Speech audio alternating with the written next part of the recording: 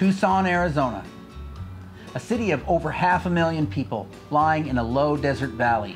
All of those people dependent on air conditioning to get through the brutally hot summer. My great grandparents moved here in the teens and 20s when luxuries like air conditioning were only available to the wealthy. How did people survive the summers back in those days?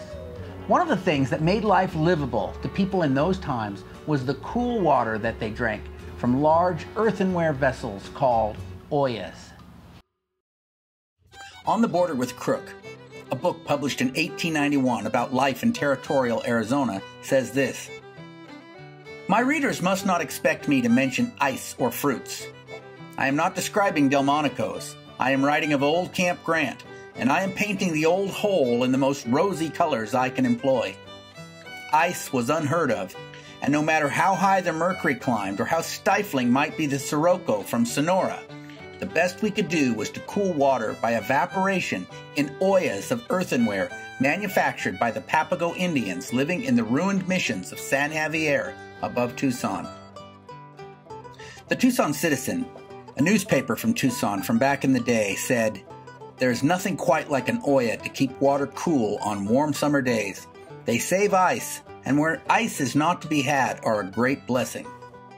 The Commissioner of Indian Affairs in 1898 said this The women manufacture these earthen water jugs, called in this country and Mexico ollas, and other small articles of clay like pitchers and kitchen utensils. Years ago, the ollas made by these Papago Indians were much in demand because, on account of their porousness, they keep the water quite cool even during the hot season. But since the establishment of ice manufactories in Tucson, the demand for said water jugs has been steadily on the decrease. The periodical The Clay Worker in 1926 said this The olla was a necessary receptacle for keeping drinking water in the early mission days. While today the olla is finding an increased popularity in warmer climates for keeping drinking water cool and fresh. Because of the porous nature of the clay jar, which is unglazed, the water within will slowly seep out through the pores, and the warm air outside causes evaporation. This circulation and evaporation keeps the walls of the jar cool, and the water inside lowers in temperature and becomes excellent for drinking. Small two or five gallon jars are a common sight through the country districts of California, where the jars hang under a shady orange or umbrella tree in the summer days. So I made myself an olla and I filled it with water, and it's been sitting out here for a couple hours with water in it, keeping cool in this hot summer weather we're having. So let me take you back now and show you how I made this jar. And then, when that's done, come back here and I'll run some comparisons between the cool water in this olla and water in an ordinary plastic pitcher, and we can get an idea of just how much cooler the water in this olla is. If you're hoping to follow along, the tools you're going to need are a lump of clay, a large puki, a rib tool, a smooth stone, a blade of some sort, and a scraping tool. First, I started out by patting out a slab of clay. Then I set that slab into my puki or my base mold, and I just press it down and then start pinching the edges up into a vertical wall. Then I use my blade to trim that down so that it's all even and ready to add my first coil. Then I use my gourd rib tool just to smooth out the inside and press it down into that mold firmly. And now I'm rolling out my first coil, place it on top of the wall, and start pinching down with that bonding pinch to connect it, and then pinch that coil thinner. And using my gourd rib to smooth it on the inside and the outside. I'm going to just pinch that in a little bit to give me that rounded shape I'm looking for, and then I'll be ready to add my next coil. Placing that coil on top, again bonding it to the base and then pinching it thinner. Scrape it smooth on the inside and the outside. And then I'll be ready to let this rest a little bit and firm up before I add more coils. Okay, it's been about an hour or so, and the pot has firmed up, so I'm ready to keep building. This will be my third coil. This will form the shoulder of the jar. So again, bonding it to the base, pinching it thinner, scraping it smooth on the outside and on the inside. Just working on the shape a little bit before it gets too firm. And this will be my last coil. This will form the rim. And so I'm doing a little special pinch here that will create an outflared rim.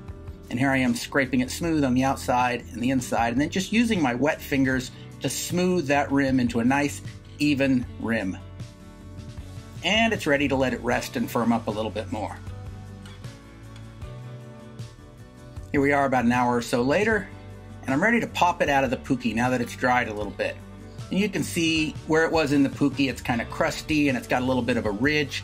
So I'll just use that deer rib to scrape that ridge down, scrape down any high points, and then use little bits of wet clay to press into any low spots that are in there as well. And then just making sure the inside is nice and smooth, making it all nice and smooth, and then letting it rest some more. Now here we are an hour or so later, and I'm ready to sit it on the rim now that it's firm enough, and I'm just gonna clean up the bottom using that deer rib again just to scrape down and smooth the bottom, and then doing the same thing on the rest of the pot. And now I'm ready to start stone smoothing. This is using a wet stone all over the pot to just kind of smooth it out, press those little bits of temper down into the clay body. This is the final step on smoothing the outside. And since this pot won't be decorated, this is the final treatment before I allow it to dry. Once the pot is fully dry, I take it out into the country to fire it in an open fire. So I've built up a bed of coals and I'm just going to place the pot on some stones over those coals to allow good air circulation around it. And this is mesquite wood, so I'm stacking a good layer of mesquite wood around all the pots. And then once I've got enough fuel stacked around it, I'll go ahead and light it off and let it burn down to coals.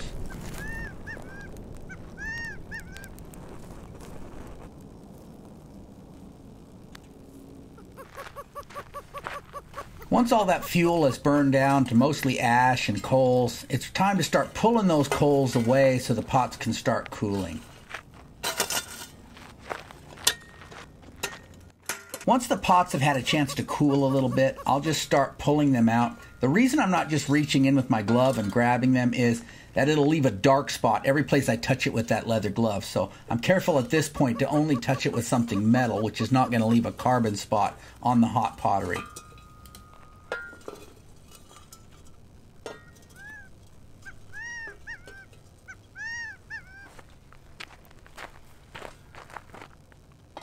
Here's an example of what I was talking about. So the pot rolls over onto some plants and you can see that piece of plant stuck on it. And I pop it off and there's a black carbon spot that is left from that little piece of plant that sat on it for just a minute.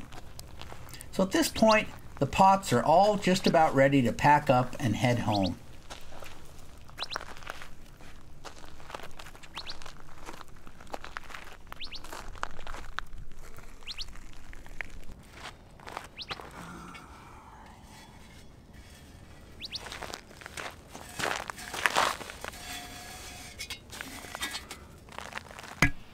So the capacity for my olla here is about three and a half quarts.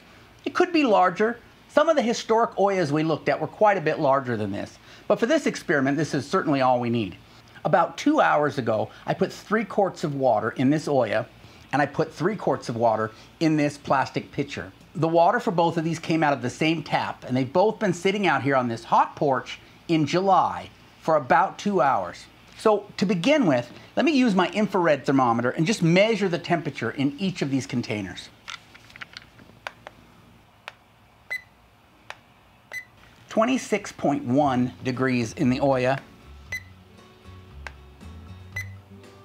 32.4 in the pitcher. So just in the matter of two hours, the water in this olla is six degrees Celsius cooler than the water in this plastic pitcher. Perhaps if it was a much larger olla and the water was left in it day and night, it would be even more than six degrees cooler.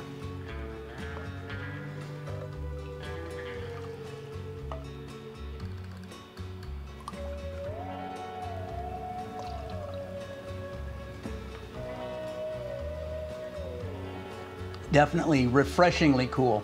It's not as cool as water from a refrigerator, obviously, but back in those days before the refrigeration, People were just glad to have something cool to drink, as opposed to lukewarm water, which this is not. Water like this, kept in earthenware vessels, had been keeping people around Tucson cool in the summertime for centuries. Certainly since earthenware started to be made here around 200 AD. can really appreciate how they got through summer with nice, cool water from earthenware jars like this.